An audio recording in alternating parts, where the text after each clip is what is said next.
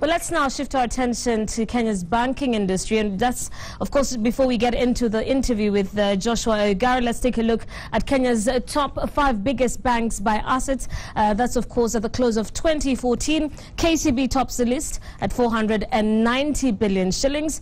Uh, KCB is closely followed by Equity Bank at 344.5 billion shillings. Third on that list is Cooperative Bank of Kenya at 285 billion shillings. And Barclays Bank of Kenya comes fourth at 225.8 billion shillings. Uh, followed by Standard Chartered Bank at 222.6 billion shillings. Let's now look at the profitability front. Um, and top of that list is Equity Bank, uh, which is uh, currently the most profitable bank at 17 billion shillings. It's uh, followed closely by KCB at 16.8 billion shillings. Now, after KCB, we've got Standard Chartered Bank, which is third at 10.4 billion shillings. And right after that, there's Barclays Bank, which follows at 8.3 billion shillings. And at a close fifth is Cooperative Bank at 8 billion shillings. That's at the close of December 2014. So how is KCB really faring and what should we expect from the country's largest bank by assets going forward? Now, Joshua Oigara is the Chief Executive Officer of KCB and he joins us on Citizen Business Center tonight. Thank you so much for joining us um, on, on, on the show. Let's uh, first start off with the hottest issue of the day, which is, of course, not within our real discussion, and that's a parliamentary decision to ask the chairman and the vice chairman um, of the Ethics and Anti-Corruption Commission. What's your take on the fight against graft, and are we heading in the right direction, in your opinion? You know, Terryanne, I would say that the answer is uh, definitely yes. A, you couldn't fight corruption in one step you're going to make various steps together to achieve the long it's a long-term course for our country mm-hmm. and, definitely being able to have a fair process and, and I will support just from the words of the head of state a while back and also being the support from the parliament I, I think that I will vote that is the right direction but one move alone will not be sufficient enough to change the course of destiny for our country, Terryanne. It's right. a good direction. Absolutely. Let's switch our attention to a notice of an AGM, yes. um, which you posted on the dailies today uh, with a special agenda of, tran of transforming KCB into yes. a holding company. What will the proposed for, uh, change of form mean for KCB, which you know has for the longest time just been running as a bank, and right. we know what the implications of a holding company could mean now? So, Terryanne, I would say yes, I mean, obviously over time, we want to be able to go into newer markets, deliver much more products to customers and into partnerships. So we have insurance, we have investment banking, we have Islamic banking, we have new regions. And, and what we see is we're actually running the pace to create Nairobi as an international financial center in line with Vision 2030. So by having a holding company, it gives shareholders of the bank an opportunity to be able to invest in different kind of sectors without impacting on the banking business. Mm -hmm it is a very globally, in fact, you know, I say that we are sitting in East Africa as a real epicenter for financial development, inclusion, and growth. Mm -hmm. And this is just modeling, you know, Dubai, London, New York, and South Africa. It's a fantastic opportunity. And, you know, I love Africa. Africa is home. The other day we saw M-Pesa is home. And our view is that it's time for Africans to get up and start running the race of complete transformation for our continent. Mm -hmm. You've mentioned a couple of things that I'd like us to break down as, as we go along. And I just want to start with the insurance that you mentioned. And this morning, um, KCB announced that it's venturing into the insurance industry. How does this fit into the bank's um, strategy? I know you've given us a global perspective of what's happening in the financial sector, but what proposition are you making on the insurance front? So, so Terry, and I would say two main aspects about insurance. Every single Kenyan, I travel across the region. In fact, our journey of change as a business, uh, more and more I'm a strong believer that the role of business today is not just to make profit, but to be able to impact and transform society and change the lives of our millions of people in the continent. Mm -hmm. So insurance is one part of financial services. Investment advisory, investing in capital markets is another part. And I do believe that by providing insurance, healthcare, you know, something that covers our people lose their property and assets because they just lacked a simple insurance for 100 shillings per day, 10 shillings per day. And so because we have the largest network of agents in Kenya, mm we do believe that we will access, increase access, provide affordability for this insurance product, and increase savings. So not just asset protection, but also long-term savings for the country. So I'm very excited that this can also change the future of our region. Talking about the future, your strategic goal is to grow customer numbers to 10 million shillings from, I mean, 10 million people um, from the current 4 million. And what surprised me about this was you're actually planning to do this in two years. Correct. How do you, how do you intend to do that? So strategically, KCB has a long plan. We, we believe that running a race of transformation can be fought alone. It's not a singular race.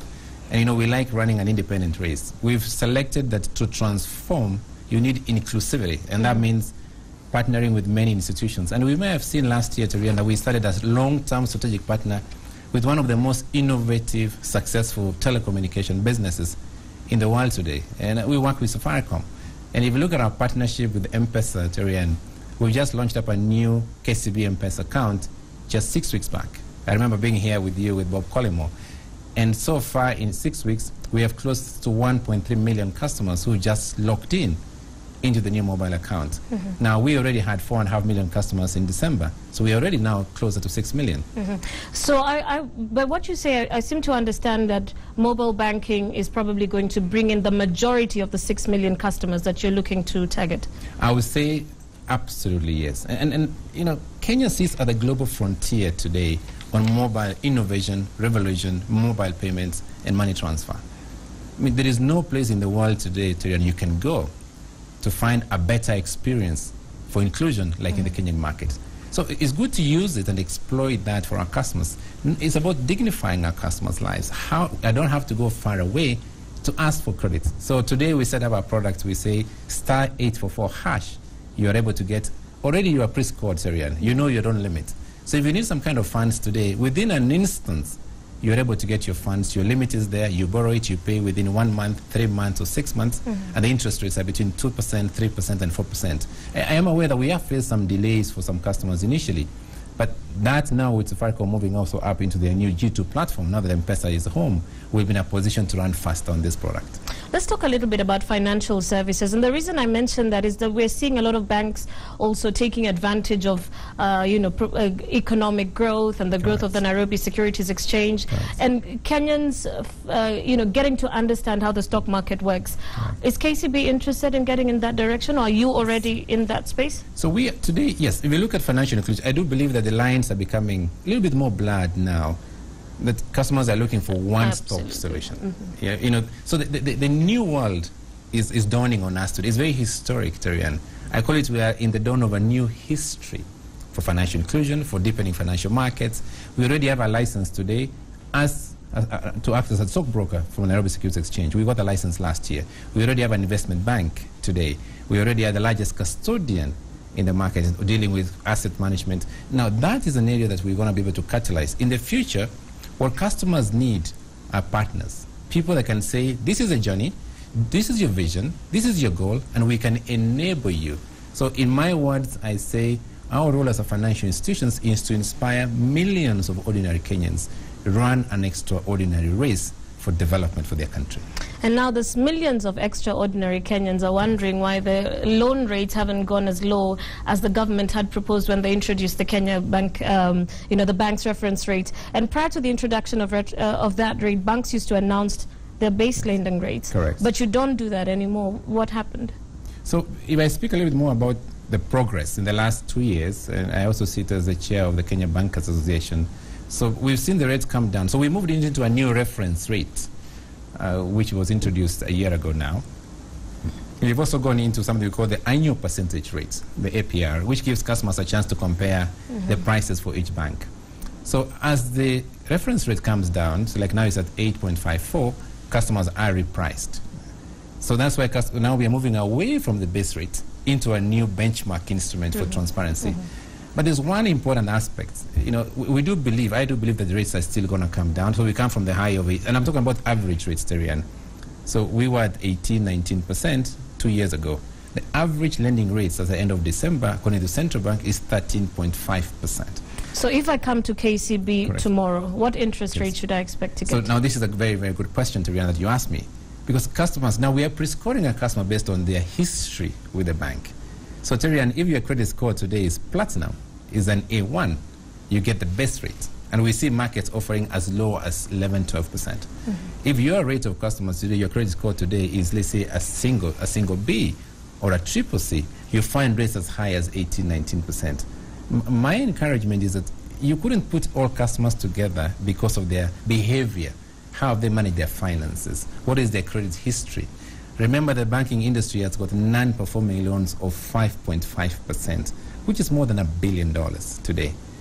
Uh, today, you are paying for the price, Terryanne, because you're a good customer, correct? Not all customers are able to be in the same position. So, as you improve your score, you improve your own interest rate from the financial institution. All right, let's talk about profitability. Um, KCB's uh, profitability grew by 17 uh, percent in 2014, as I'd mentioned earlier. Some would say the growth wasn't as impressive as, as some of KCB's peers, given that you're Kenya's largest bank by asset um, base and the second uh, largest lender by market value as well. Yes.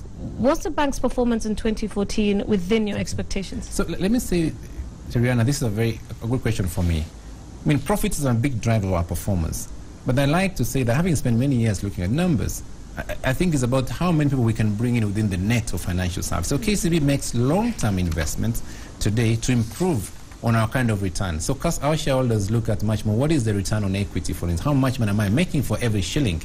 So we invest in long-term projects. So partnership, for instance, on our transport sector, you know, digitizing transport. We did our own card on transport. Mm-hmm. We are doing the transfer fund for the national government under the program called Inua Jamii, for instance. We have what 250 branches across the region. We are saying as a bank, we are prepared to invest funds today for the next 10 years. In the short term, we, we do make, we are okay with our return on equity at 24, 25%. percent mm-hmm, mm-hmm. We do believe that, you know, we're in the race to become, we still remaining the most profitable institution. But I am convinced that the role of business, and this is very important if you checked our sustainability report we launched last year, is about impacting lives, transforming society, creating a better epicenter for development in our markets. If markets move, I think we build a bigger pie. It's like the blue ocean, in my view. If we focus on your making how much profit, and I always argue with our shareholders about this, I believe that more and more we're going to fight under the same positioning and we never create real entrepreneurs, the youth, the musicians, the artists, the people that are selling shoes, that are selling hair. Are we enabling them? So if you look at our product, Terryanne, for, for, for interest rate, which we offer for M-Pesa, we have the lowest interest rates in the market today. Mm-hmm.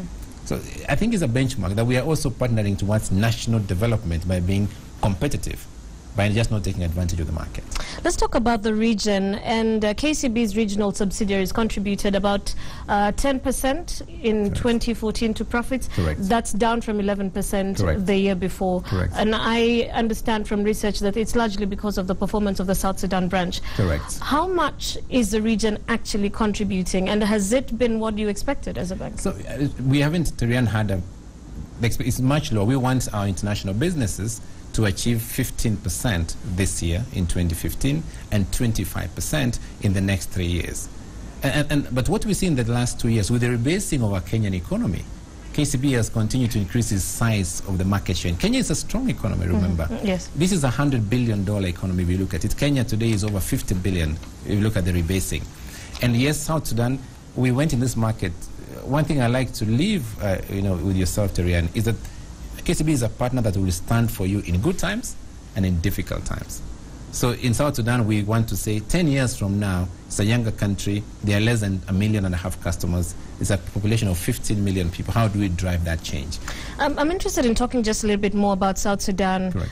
How is it? How is it doing?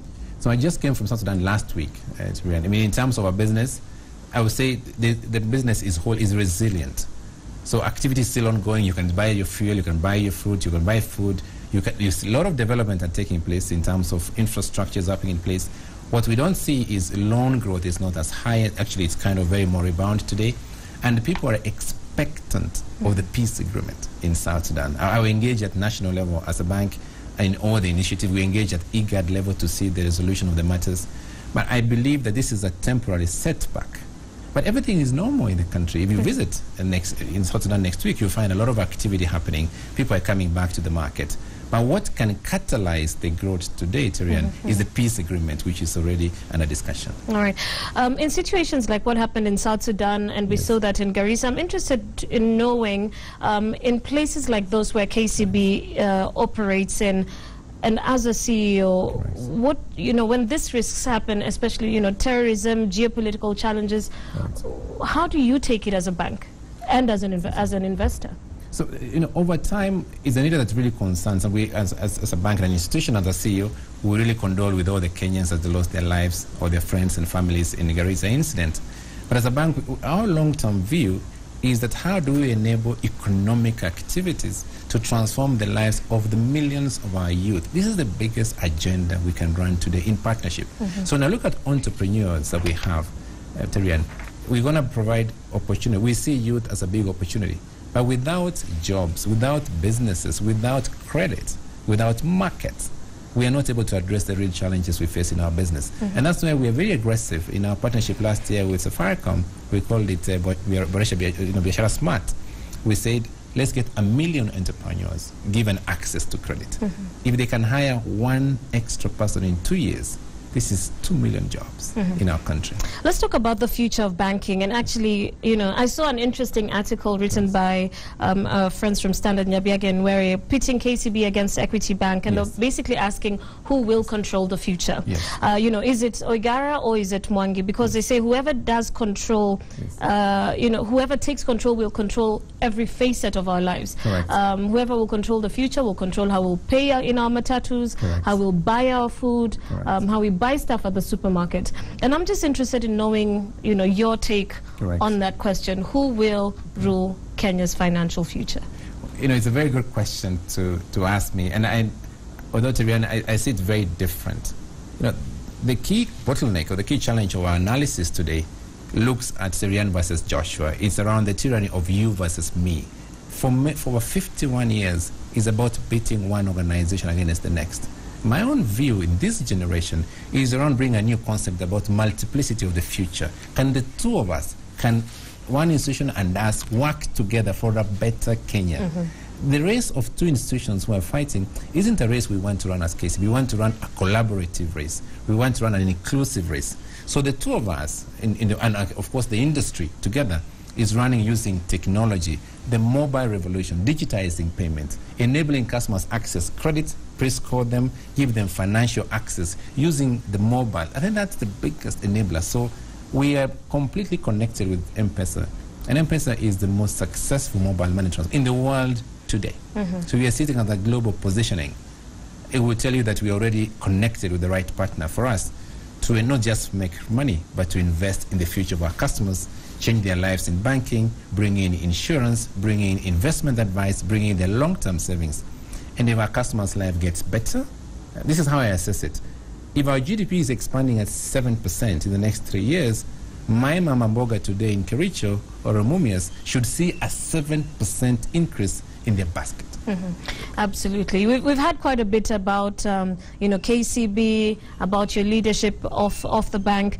Um, but I'd like to get to know a little bit about you. Now, a lot of our young viewers would like to know your career path. And I know uh, that you've worked at some of the top firms in this country, Pricewaterhouse, uh, Bidco Oil, Bamburi, and all at senior financial positions. Correct. But what was your first paying job and how was it like? Well, my, bas- my first paying job, I, I did work in, I love teaching.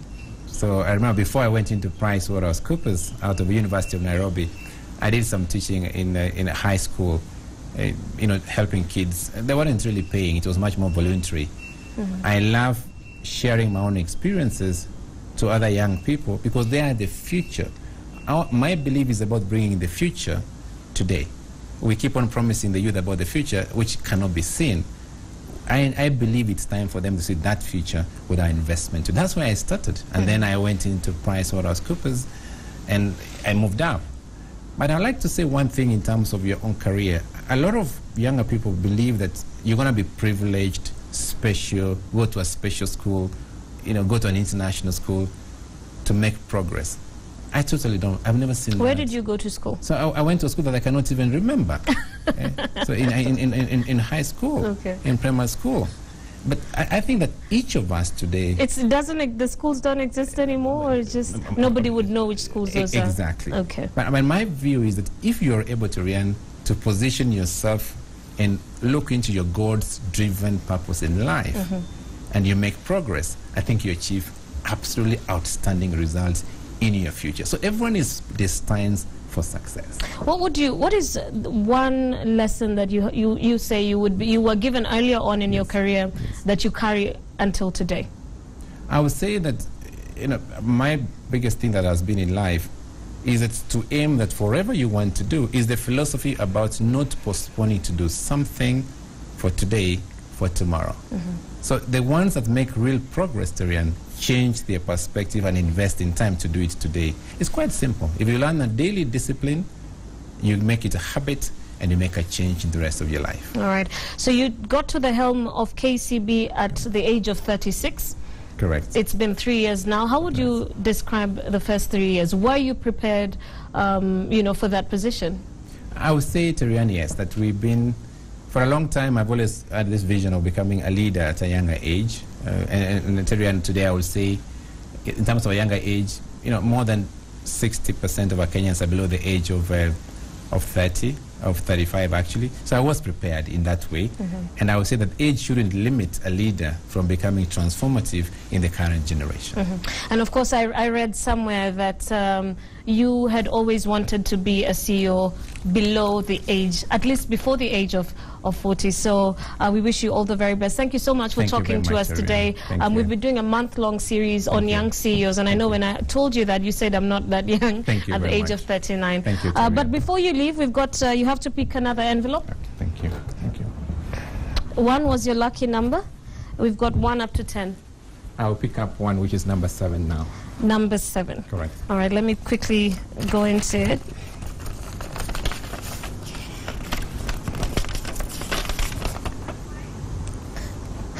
Which watch do you wear and why?